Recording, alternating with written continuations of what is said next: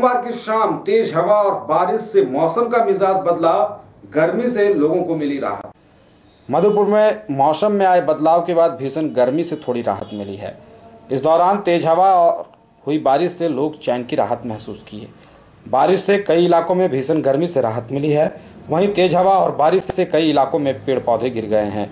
मधुपुर अनुमंडल क्षेत्र के पटवाबाद कसाठी मुख्य सड़क पर 11000 बिजली का तार तेज आंधी के कारण गिर गया। जिस कारण यातायात बाधित हो गई, बिजली विभाग को सूचना देने पर तत्काल बिजली काट दी गई और बिजली कर्मियों के द्वारा बिजली के तार को सड़क से हटाकर आवागमन को सुचारू रूप से संचालित किया गया। इस बीच किसी भी प्रकार की कोई हताहत होने की सूचना नहीं है। वहीं बिजली विभाग के जेई अरुण तिग्गा ने बताया कि देर रात तक काम किया जाएगा, रात तक बिजली आने की संभावना नहीं है। कहा कि शहर में लगभग कई स्थानों पर दर्जनों पोल गिर गए हैं।